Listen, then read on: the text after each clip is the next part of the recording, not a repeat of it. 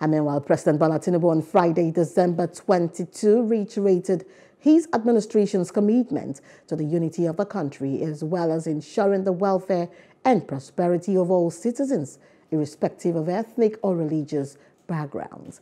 According to a statement issued by his special advisor on media and publicity, Ajuri Ngelale, President Tinubu gave the assurance while speaking at the Ansarudeen Central Mosque in Surulere, Lagos.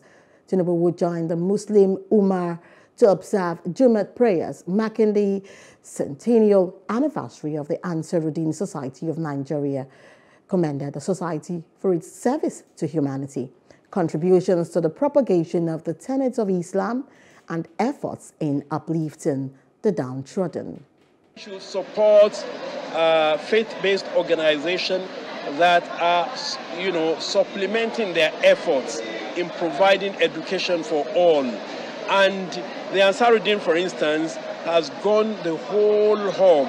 For 100 years, it has been providing education, quality education at that. It has been contributing to the human capital development of this country.